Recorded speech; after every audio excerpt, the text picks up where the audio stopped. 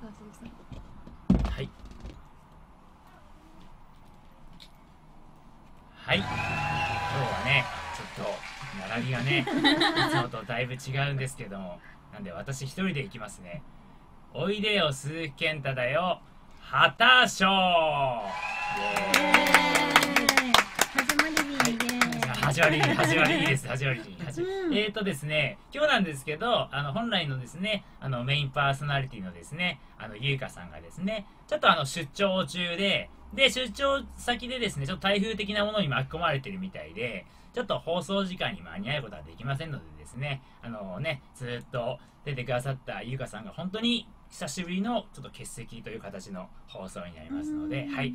ゆうかさんファンの方ね申し訳ないですけどね、今日見ても何の価値もございませんので、はい。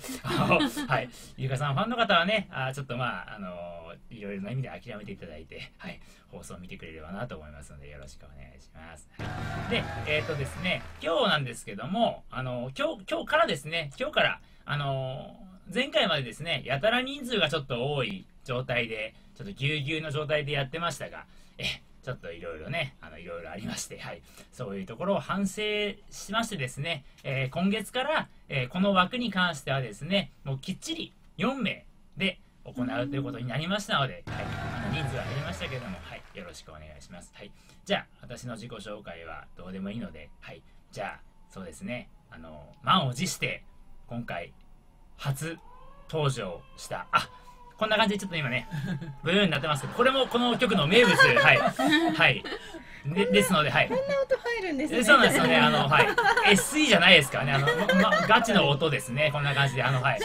はい、そうですね。あの、鳥越は、あの、なんかすごいね、楽しい街なんでしょう、おそらくね。こんな感じでサイレンが鳴ってますが、まあ、すいませんね。あの、失礼しました。ちょっとサイレンがね、ちょっと落ち着くまで、あれしたいですけど、落ち着かないかな、これな。ちょっとサイレン、サイレン鳴らしながら自己紹介でも大丈夫です時間もったいないので、はい。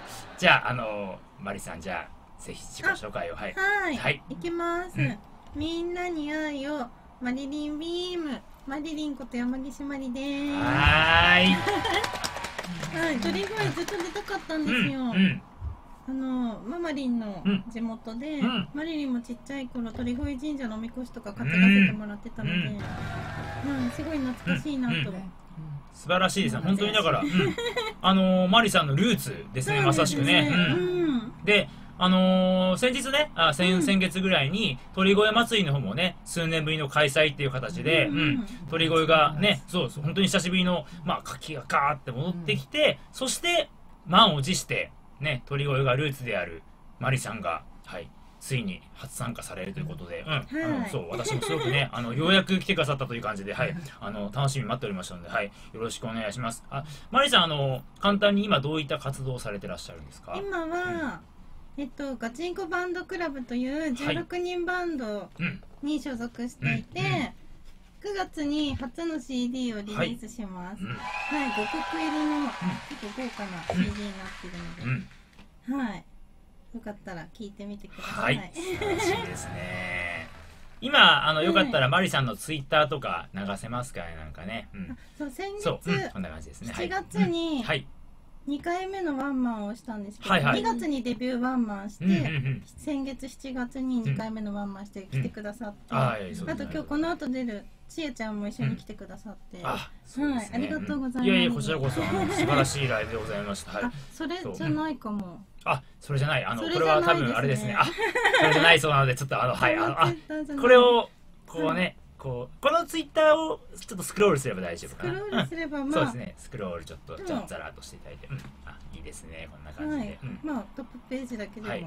あ、なんかいいですね。なんかこうやってリツイートしてる内容が私絡みだったりとかすることがね。あ、そうですね。あの、あ、関係はい関係ないのもリツイートしてはいるから、あんまり、はい、昨日のね、マリさんの浴衣す姿も今ね、ちょっと映ってますけど、はい。あ本当にね、昨日ちょっとね、マリさんにちょっと別の企画で浴衣着ていただいて、はい、もうそれも非常に。トップガンだけで大丈夫に、ああ、もうだだったそうです。あ、すいません、余計なことしました。ね。そう、あの、まあ、そんな感じでね、あの、マリさんね、今ね。だからガチンコバンドクラブで頑張ってらっしゃるということです。ので、はい。はい、え、はい今告知していいんですか？あ、もちろんもちろん、最初のうちにやっとかないと私忘れちゃう可能性があるんで、そうそうそう。でそのガチンコバンドクラブのブロマイドが、うん。今全国のコンビニのコピー機で販売中です、コピー機になんかそういうブロマイドを買える、うん、うん、うん。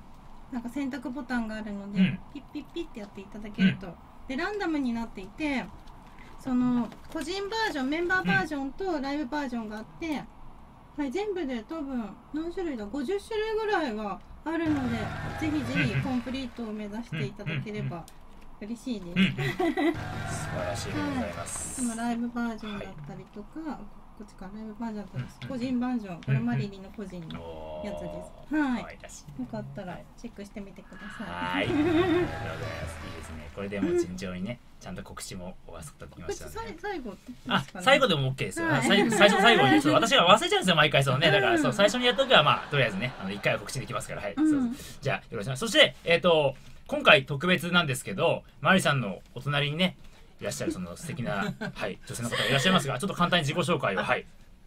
はじめまして、えーマリリンのママリンです。ごめんあなさい、なんか若い人の中におーいやばさんいやいやいやいや、そんなことはございません。あの、本当に運命を感じてて、あのー、鳥越鳥一なんですね、通称鳥一で生まれも育ちももうみこし担いでましたから素もう。晴らしいですね。青春の街です私の。はい。うんえっと、ママリンさんの、ええ。えママリンさんのお母様が鳥越の出身？それとも、ママリンさん自体から始まったんですか鳥越まあのルーツは？そうです、はい。あ、もうすぐそこのうん神田の三井病院で生まれました。あー。えー、本当だすごい。あ、そうなんです。じゃあもう、あの、ママリンさんから、あの、まあ、引き継がれた鳥越のこう血がですね、ええ。まあ、娘のマリさんにね、受け継がれて、そして、この鳥越アズリ FM というところにねえ、えこうやって親子揃って、はい、ご出演されているというのは、本当になんかそれだけでも、あの、うん。私としてもね、感慨深い。まさにあの、ま祭りですね。は。ここに来るまでにやばやはり親子で出演したあの、はい。えーサプリのコマーシャルにはい。出まして、あ。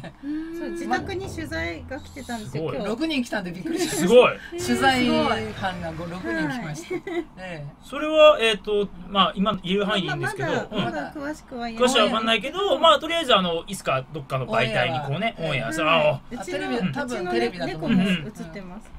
まあ、そうですね。だって、6人ぐらい来たってことはね、あのー少なくとも私の YouTube チャンネルじゃないですね。なんかね、別のね、あちゃんとしっかりしたあれだと思うんですけど、はい。あ、すごいですね。うちのうん猫はあの保護猫入れて8匹いるんですけうんどその中で一番人懐っこい、はいあのりゅうくん。が出演しまして、ああ。いいですね。りゅうくんに。にあのギャラあげなきゃとあ 帰りになんかいいおやつをね買ってね。すごい演技力でしたあが呼んできたんですよね。はあ。今まで初めてだね。うん。で餌をあげるっていうそのねちょっとシチュエーションうんうでん呼んだらりゅうくんが来てくれてで餌あげたらぜ食べてくれたっていうそういうシチュエーションを完璧にやってくれましたね。素晴らしいですね。もう、プロフェッショナルですね。なんかね、もかちゃ。うんね。そう、うんうん。うんびっくりしました、うん。今後ね、だからね、りゅうくん自体もね、何かしらのね、そういった、まあ、テレビとか YouTube とかね、ねデビューね、りゅそう。りゅうくんもね、そうそう。ちなみにりゅうくうん黒猫です。あおー。でですね。もうん撮影隊の若い女性がもう可愛い可愛いっつってくれてね、でその女性若い女性のそばから離れないの、あら、ちょっとスケベ猫で。オスだから。女の子大好きなんですね。あら、あそうそうそう。ら、あら。幸せですよね、りゅうくんね。だってね、マリさんとマモリンさんにね、こう、か可愛らしい女性二人にこう、ままね、愛されてるわけですから、もう、ね、それは女性好きになっちゃいますね。だからそれね。いいですね、わかりました。あの、本当にね、あの、まあ、昨日もちょっとあるイベントで、まあ、ご一緒させていただいて、まあ、マルミンさんもいらっしゃって、なんで、もう、お二人を見てるとですね、まあ、いいなと思いますやっぱそのね、あの、お母様が、実のお母様がですよ、こうやってね、あの、娘さんのね、こういう現場にですね、立ち会いながら応援したりとか、あとこういう感じでね、一緒に出演みたいな形の、はい、スタイルは、まあ、なかなかないと思いますので、うん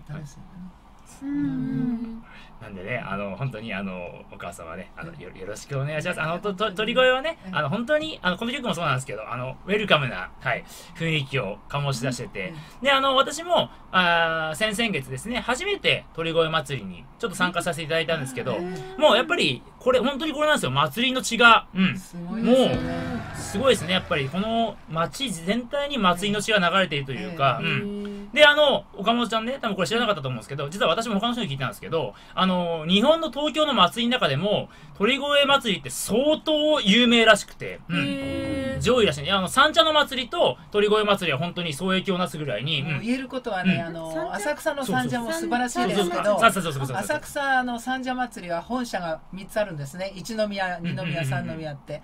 で鳥越は本社が1台なんですけど、その1台が素晴らしい綺麗なもうみ惚れ惚れするような大きな綺麗なみこしなんですよ。それがもう誇りですね。夜見るとなおさらもう幻想的でね夜見るとまたもう二度惚れしちゃうようなみこしなんです。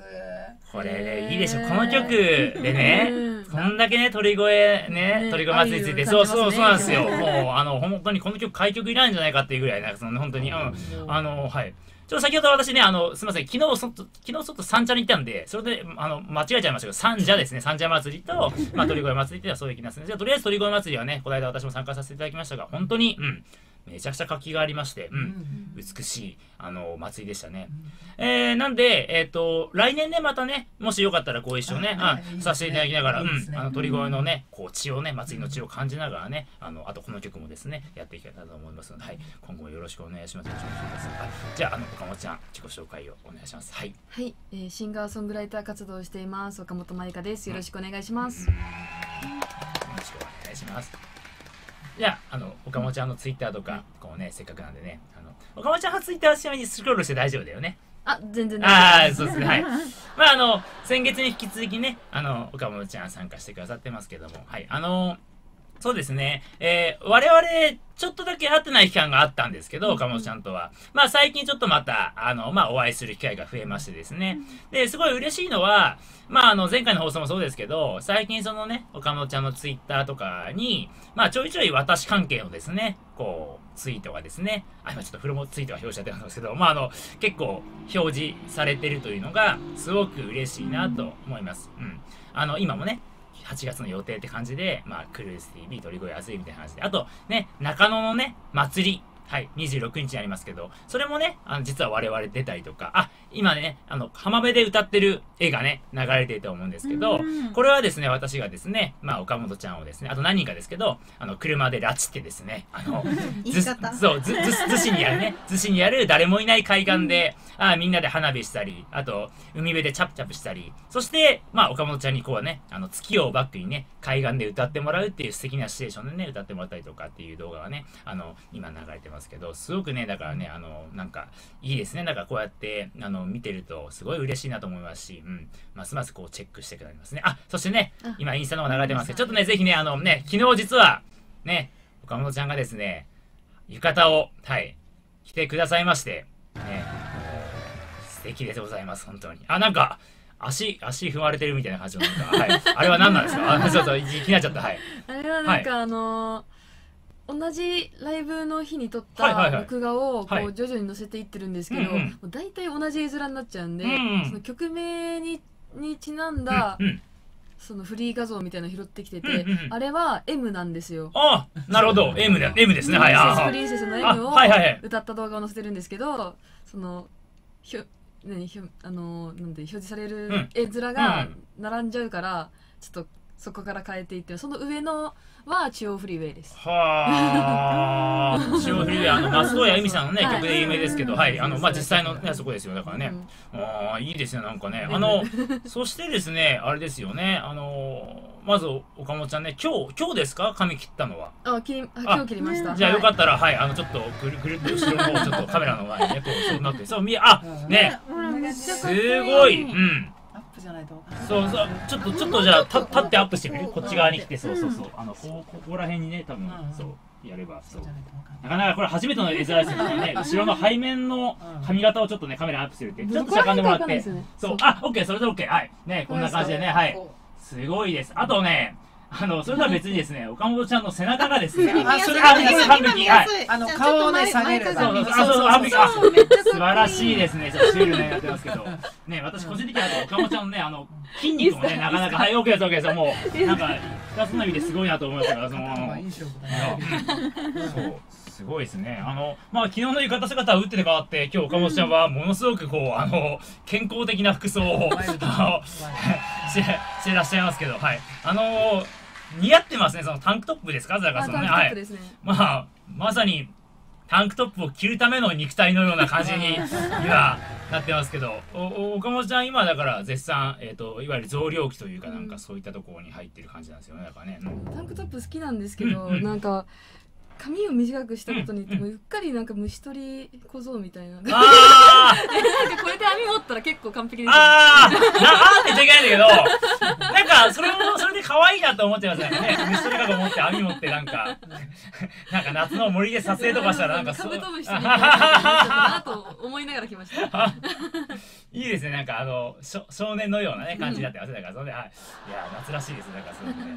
あのでですね、あのちょっと最初にあの言っておかなきゃいけないんですけども、えっ、と、一応ですね、まあ、マリさん、そして岡本ちゃんにはですね、えー今後ですね、あの実は、この、この枠ですね、この枠に関しては、今後もね、まあ今日はこれ出てませんけど、まあゆうかちゃんっていう女の子が一応メインでやっていく予定なんですが、あの、またちょっとね、あの、噂によるとですけど、あの、私のね、この番組の枠が、なんか増えるらしいんですよ。これは噂によるんですけど、はい。はい。はい。あの、で、そして増えた枠、まあ、どの放送時間になるかはちょっとまだわからないですけども、あの、その増えた枠でですね、ぜひ、マリさんと岡本ちゃんにはですね、まあ、正式にレギュラーとして、うん、出ていただければなと、はい、あの、思っております。なんで今日は、まあ、ある意味、あの、なんか素敵な回でですね、あの、今後ですね、私の新しい番組の、えー枠のですね、レギュラーになってくださるかもしれないお二人がね、今日ゲストという感じで、うん、あの、すごくね、だから私もね、あの、みあの引き締まる思いというか、ここで何か失礼なことをしたらね、やっぱり出ませんとか、あの、言われてしまう可能性がありますので、はい、そういったことないように今日はね、していかなきゃいけないんですけども、うん。でも、あの、あれなんですよね、お二人とも、実は私、まあ、岡本ちゃんとも、あの、マリーさんともそうなんですけど、まあ、偶然ですけど、2018年に、お二人と実は初めてお会いしてるんですよ。うん。で、ぶっちゃけはっきり覚えてるんですが、えっ、と、私がマリさんと初めてやったのは、2018年のお5月かな ?5 月ですね。5月にリムジンに乗るみたいな感じの話があって、うんうん話があったっていうか私は企画したんですけど、うんえっと、リムジンに何人かで乗ったんですけど、その時に初めて、えーマリさんとお会いしたんですよ。うん、へー覚えてます？でも全然覚えてなかっああなんか、えっ、と、私は相変わらず LINE とかしてます高村健太郎くんってやつがいてた。、うん。高村健太郎くんっていうのが、まあ、はいマリさんのことを繋いでくださって、う。うんんで、当時私、あの、今、ワンセブンになっちゃいましたけど、まあ、17っていうですね、ライブ配信アプリがあって、まあ、ちょっとそれの普及活動をやってたんですよ。なんかそのね、謎の普及普及活動をやってまあ、それで、マリさんに、例えば17どうだろうみたいな感じの。で、17を進めるプラス、えー、ちょっとコラボ企画として、いきなりみんなでリムジン乗ろうみたいな感じでやったんですよ。うん。それで初めて、えーお会いした感じですね。うん。それが2018年の5月で、で、岡本ちゃんとはですね、2018年のお8月に、えっ、とマリさんも知ってると思うんですけど、まあ、あの、岩見マリア・ローズっていうですね、うん。はい、あの、ちょっと、ちょっとあの、可愛い女の子がいてですね、はちょっと違いですね、すごい可愛い女の子がいて、まあ、その子が池袋でね、とある番組の企画をやりまして、で、そこでね、まあ、ちょっと前から LINE だけは繋がってたんですけど、うんその岩見ちゃんのイベントで歌わないかってことで、初めて岡本ちゃんに2018年の8月にね、直接お会いしたのかなっていうですね。うん。これ多分間違ってないですね、おそらくね。うん。えーそう私も思い出しましたそうそうそうそう。なんで、あの時はね、岡本ちゃん、まあ、黒い長い髪で、あの、今とはまた全然違う風貌で、えーはい、そうでしたけど、うん。あのーそれじゃですね、だからお二人とも2018年のまあ中頃に、うんまあ、お知り合いになって、で、6年ですね。だからね、もうね、うん。ちょうど6年になるわけですよ。うん。なんで、あの、本当にね、あー6年っつったらまあ、短くはないですよね、だからね。うん。あの、そう、その中で、でそうそうなんですよね、うん。結構ね、だからね。小学校入学して卒業するそうまでそうそうそうみたいな。そうそうなんですよ、ねうん。そう小学校全部をね全学年一緒に過ごしたぐらいの期間が一緒にいるわけなので、うん。でそれで6年を終えてまあ一緒にね正式に番組がやれるかもしれない。うん。ややりたいですよ。あのややることになれるっていうのはすごくねあのなんかいいものを感じるというかなんか、うん。うんそう。しかもねマリさんに関してはねもう鳥越に関してはもう本当にもうルーツですから、うん。そう。なんでねあの鳥越さんねあの、まあ、いつもいつも何かご迷惑をおかけしておりますけどね。あの、はい、今日もねあの私も言いに来るし 放送時間もちょっとねあのおっしゃったりしている状況ではございますけども、うん、ただこれだけねなんか鳥越にねこう愛着がある方ってなかなか正直いらっしゃらないと思うんですよ。変な話ね。まあ鳥越の地元だからそうですけどいや私もだって最初鳥越あずりって話を聞いた時にうんどこ？って感じだったんですよ、えー。はい。はいごめんなさい。ねごめんなさい出身の方ね。ただ岡本さんもねぶっちゃけねあの鳥越って言われてああそこだねっていうふうに答えれる人はあんまりやいないです今いないんじゃないかなっていうそのそう正直そういうところがああると思うんだけど、うん。そう。なんであのそうですね。あのそんなですねまあマイナーじゃないですね。超メジャーな鳥越にルーツを感じてるあのお二方がねうん。今後ねあのまあレギュラーにあお母様もねぜひねレギュラーレギュラーじゃないですけど わざわざね毎回応援鳥越って縁日やってるのかしら？あ。子供の頃よく縁日に親とね、はい。一緒に来てバナバナナの叩き売りとか縁日がもうすごかったです。ずらっと露店が。その、うん。要はチョコバナナじゃなくてバナナですよね。バナナのバナナのもう叩き叩き入れもうええ替えみたいな感じの、ええ。そう。あすごい、うん、今どうなんですかね私もだから、今縁日やってい、ないのかしらね、うんちょいちょい鳥越は来るんですけど、うん。ちょっと見たことないんでひょっとしたらでもまあもう終わないなくなっちゃった。まだでもね、わかんないですね。まだコロコロナ明けたばっかだから、まだちょっと探り探りかもしれないね。でもあれね飴細工とかうん。作って食べたことね。あそうそうそう。あー。あいいですね。じゃああったあったマリさんの子供の頃もやっぱり露店みたいな感じで出てましたね。あすごい。あなんかいいですねなんか本当ねそれこそなんか、ううんん、夏らしいし、ううん。んぜひそういうね、まあ、古き良き祭りの文化をね、ううんん鳥越さんともどもですよ。本当に盛り上げていこうとうん思っております。はい。それじゃあ、あのーそろそろですね、あのあのもう一人のゲストの方が、まあ、到着されたってことで、ちょっとね、あのさっきから首を長くしてあの待ってらっしゃいますんで、うん、じゃあちょっとあのおお母様、あの、はい、すみません、本当にあの今日は、はい、急に、はい、はいいやい。や、ありがとうはい、あの、まあ、今後もね、あのぜひ、あの、はい、あの、娘さんともどもですね、はい、あと、鳥越、鳥越ですね、鳥越あずいに関しても、はい、僕はよろしくお願いいたします。はい。はい、いい番組を作っていきたいと思ってます。本当にありがとう、ございます。失礼します。はい、じゃあ、まんまり様です。はい、すみません、ありがとうございます、ありがとうございます。じゃあ、ちょっとね、ちょ、ちょっと私もね、あの、ちょっとだけね、ご案内しますね。ちょっとね。ちょっとね、あれですよね。はい。じゃあね、今ね、今、おはい。疲れ様です。そう、じゃあ、そっちの端がね。あ前通ります。すいません。はい。じゃあ、ちょっとね、ちえちゃんね、はい。えっ、と、自己紹介をちょっとしててください。ちょっと私、準備がちょっとあるんで、はい。じゃあよろしく5分ほどはけますんで、ちょっと3人でぜひね、つないでてほしいです。女子トークしようか、ガールズトークしましょうえー、とりあえずそうか自己紹介か、えー、怪談師のよろずやちえです。よろしくお願いします。ありがとうございます。ありがとうございます。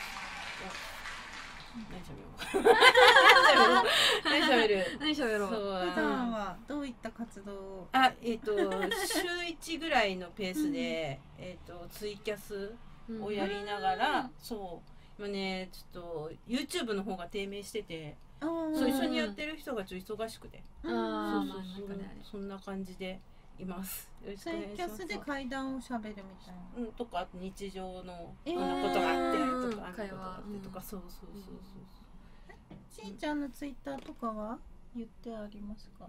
あ今そこに出てるね。なんか千パーセント TV ってそうこれを今あ YouTube で。そうそうそうそうまだ全然そうあの登録者数が全然やり始めたばっかりで。うん。あれなんですけど。これから知った方はそうですね。一から見てもらえればね。よろしくお願いします、うんなん。か心霊スポットに行った時の映像とかいろいろあったりとか、うん。映像そうなんだそうそう映像もある。ガ結構ガチそう そうそうそうそう。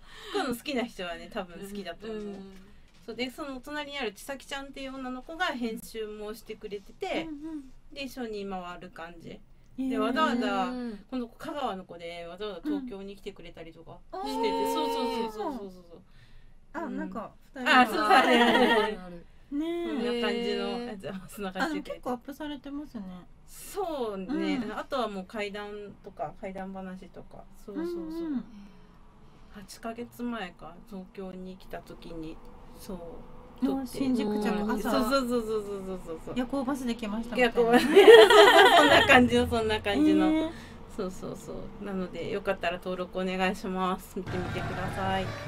お願いします。お願いします。多分多分、うん、そういうの好きな人は好きだと思う、うん。多分。うんそうなんか弾丸できてくれたりとかして。えー。そうそうそうでこのうんなん10月に香川い行ってきて逆に、うん。で香川の子でね香川行ってきて、で香川のなんか心霊スポットとか巡ったりとかして。そうそうそう。そうそっか心霊スポットって各都道府県にいっぱいいある、うん、いっぱいあるから、そうそういっぱいいろんなところ、それこそなんか地元にの人しか知らないところとか、あうん、であのーそういうオカルト系の YouTuber さんで、うん。あのゾゾゾっていう人知知らない？知る知ってる？わ知らなわかんない。でゾゾゾさんっていう人がいて でうん。その人たちが行ったイモンタっていう場所があってうん。香川に。でそこ行ってきてそうそうそうあのー灰寺みたいな。ハイデラうんうん。ところで。そうめっちゃ怖かった。あでもい行ったら 行ったらなんかもうそういう空気が。空気もだし、うん。もう山の中なんですよ。もうなんかこうかき分けかき分けいくみたいな 感じ行くまでにも大変だそうしみたいな。そうそうそうそうそうでうんもすごい面白くて。面白い面白かった。怖い怖い面白いみたいな。へそう。でもなんか実際そういう場所に行ってなんかもらってきちゃったりとかはないの、もらってきたことはうねん。一、回だけあって。えそうでもなんかねーうん頭痛がするんですよね。うん。行ってあここやばいなっていう時は頭痛で知らせてくれるみたいな。うん。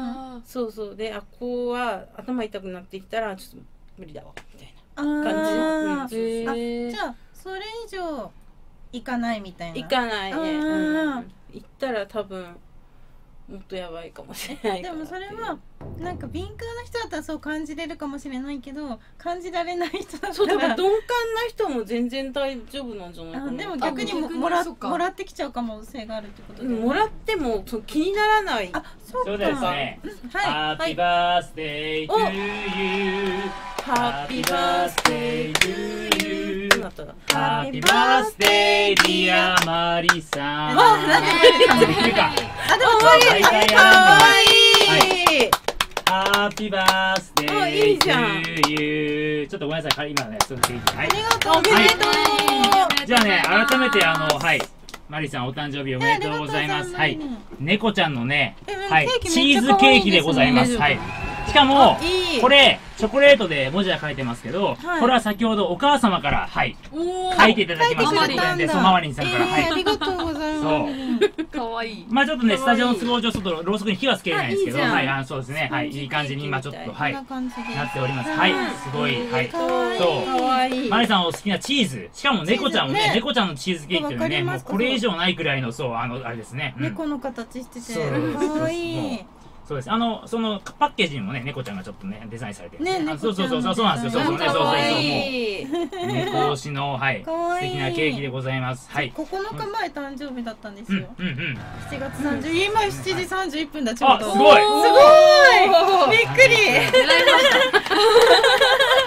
びっくりしました。すごいやったじゃあちょっと今日本酒を持ってきますんでね、はい。あのちょっとあのお酒を飲みながらね改めて誕生日をねお祝いしましょう。じゃあちょっと待ってくださいね。セッティングえこれどこで見つけたんですか？それはね新宿だね新宿で偶然。そうそう。これなんかここも猫。猫ケーキだモフネコチだってーズケーキかわパッいいて見せればいいなんかこのパッケージも猫なんですよ。逆にする？こうします。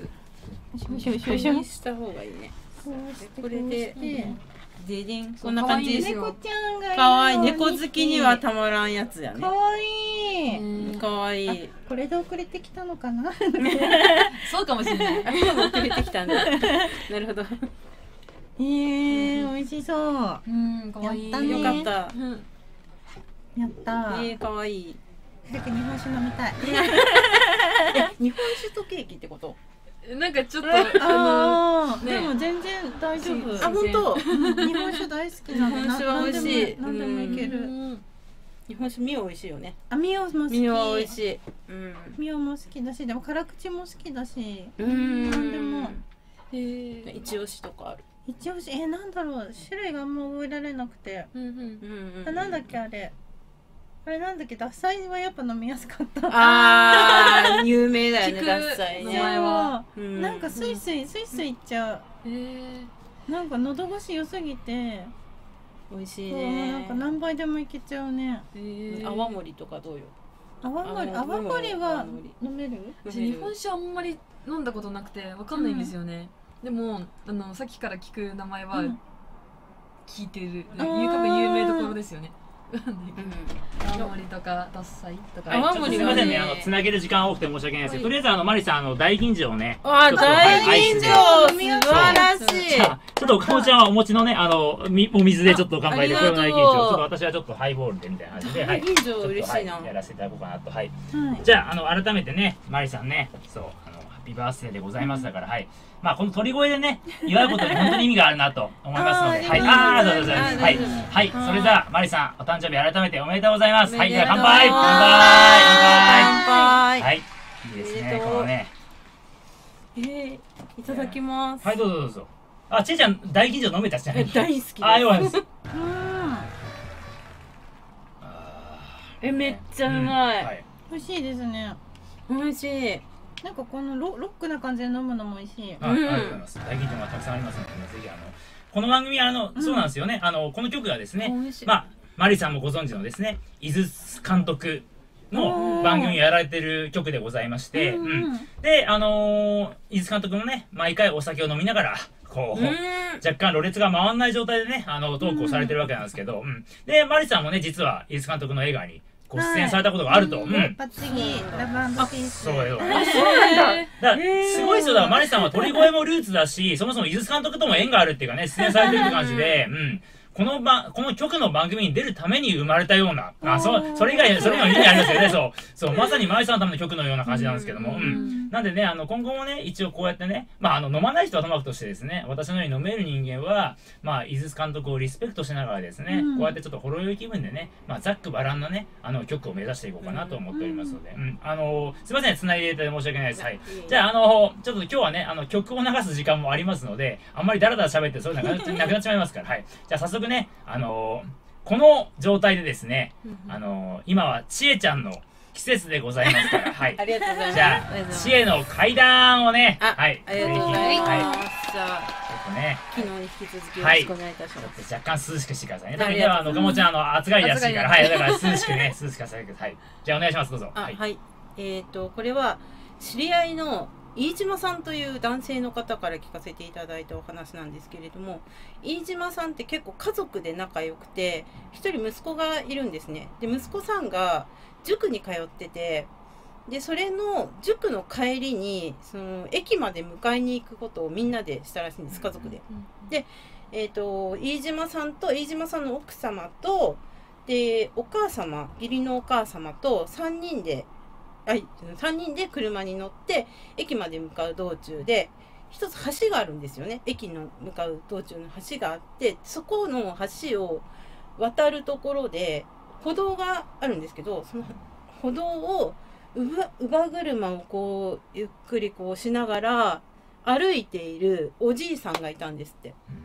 でそのおじいさんをこう目撃した時に後ろに座ってた義理のお母さんが「あれ?」と思ってうん「あれ田中さんだわ」って言って知り合いだったらしいんですうんよ。でもそのおじいさんめちゃくちゃもうボロッボロの服を着てうんもうその田中さんだって分かるのにちょっと時間がかかったぐらい全然変わってたっていうんですよね。それで「あれ？ちょっと田中さんだからちょっと止めて」って言って「あれ田中さんですよね」って言ったらもうなんかもう言葉もちょっとおかしくてなんかすごいニタニタニタニタしながらなんか喋ってるんだけれども何を言ってるかわからないんですって。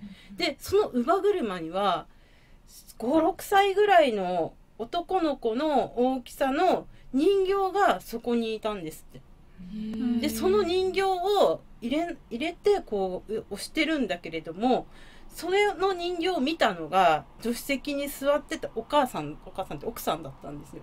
でその奥さんがそれ見た時に人形がまばたきしたって言うんですよ。えー。パタって言って。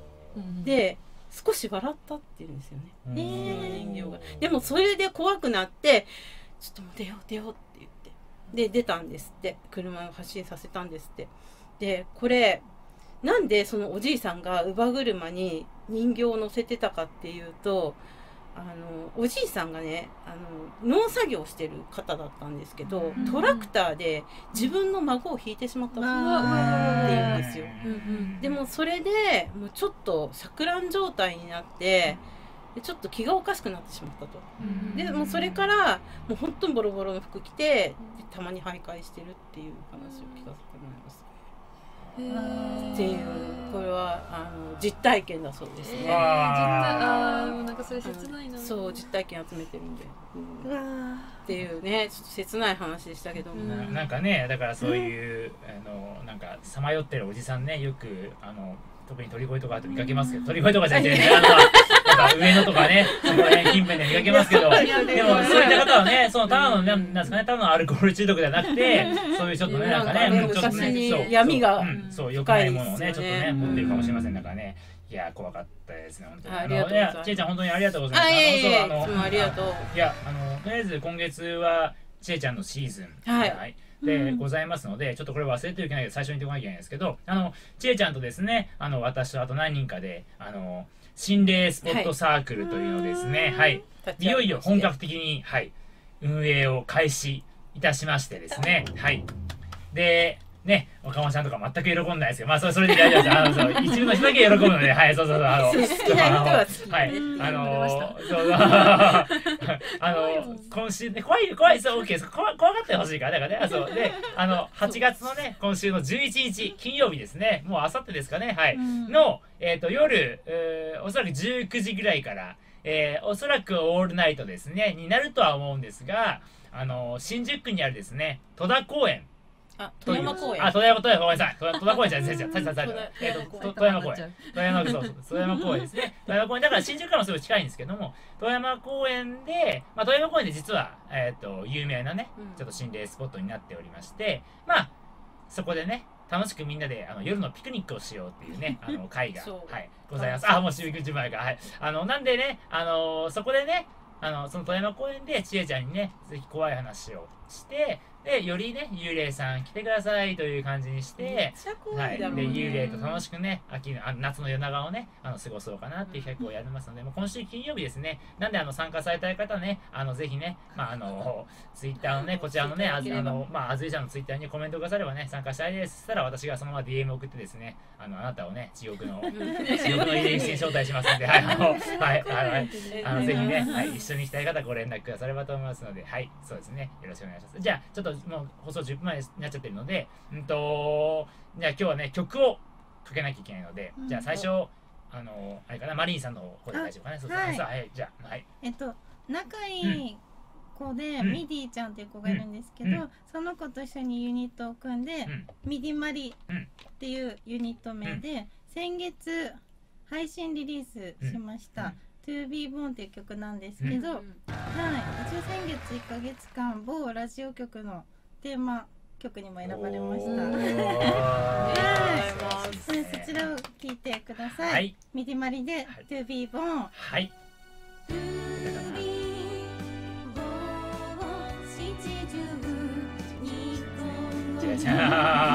まあ準備ができたらちょっとねあのスタッフの方ねあの OK してくださいちょっと今のそう流れてる流れてます流れてます。これこれでなんか聞けます。これで聞けます。あそっちにある。マイク来てくれてるんだけどこれこれで聞けます。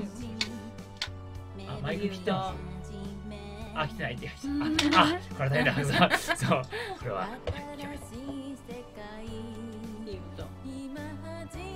そ自分たちで作詞も作曲担当とか分かれてやってみんなで作曲はミジタの知り合いの二人ともで、作詞は二人で、主に一番の作詞をマジでしてて、二番をミジタがやってる。えー、新しいうん。ね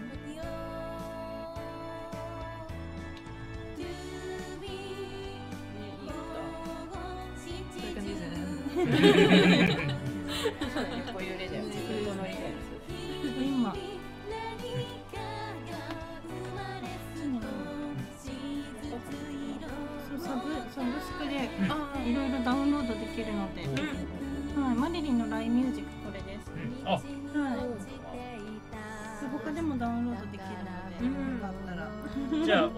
スすけど例えば Spotify とかもうほぼ全部全部、ね、あ素晴らしい。素晴らしい Spotify いいよね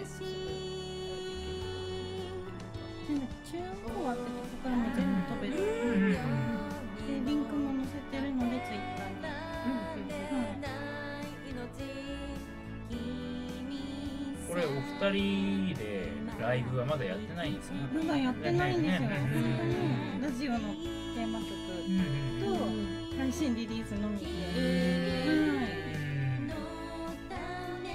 うん。ぜひねそろそろねねお二人の生歌でねそううん。ね歌うチャンスがぜひねはい、なん。か聞いてみたいですとかライブ見たいですっていうのがちょいちょい来ますね、うん。うん。はい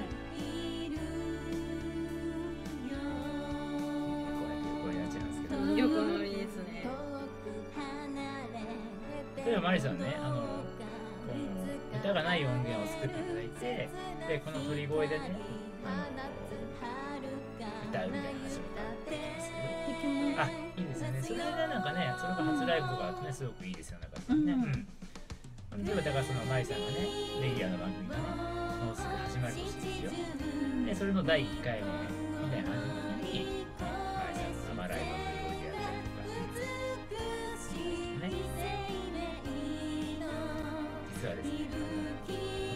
まって以来なんでこうやって。音源を流しながらこうトークをするっていう。えマリマリさんこれでよかったですかあのマイク切って流した方がよかったちなみに今更だけど。全然こんなあ感じでもよよかったよかったですよかった。ですそうそうそう。あいいですね。ああいいはいねねなんでぜひねあのライブをねうん。そう。ややってほしいですねそうね。そうですね。はいそうそうそうこの間ねあの相方さんもねあマリさんの誕生日会というか、はい。うん。にはい、にいらっしゃいらっしゃいまして、はい、あのね、ちょっとはバタバタな誕生日会でしたけども、はい、あの相方さんね、こちらの放送を見てましたらですね、よかったら今後もね、あのマリさんのことをよろしくお願いいたしますというところでございます。はい、じゃあ、はい、そうですね、この前なんで、岡本ちゃんのね、じゃあ曲を、はい、流しましょう。はい。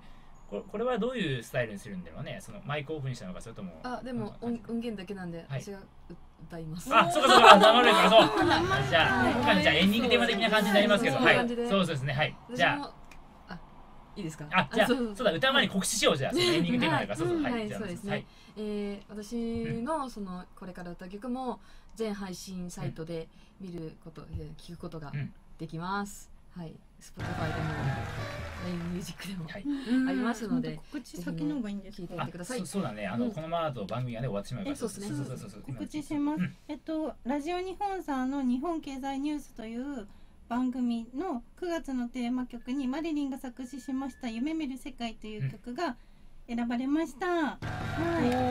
9月になったらよかったら聞いてみてください。お願いします。すごいね、9月からだからね、もうすぐですね。あーいや、楽しい楽しカラオケジョイサウンドにも本人映像で入ってます。おすーごい。いいですね。えー、ととりあえずあの、うん。最後にねあのこ今月の26日、まあ、中野のとある祭りがあるんですけれども、えー岡本ちゃんも、はい。マリさんもそして私もねあの出演させていただきますので、まあ、詳細はね、まあ、岡本ちゃんとかマリンさんのそのツイッターにねあの告知してますのでよかったらね26日お暇な方はですねその中野のお祭りの方にいらしてくださればと思います。はい、それではあのもう多分ちょうどいい時間だと思いますのでここで、はい、じゃあ岡本ちゃんのね曲生生歌はい。エンディングとして、ははい。い。あのじゃああのお願いしますすみません。ははい。い、最後に聞いてください、はい。はい。僕が鳥なら心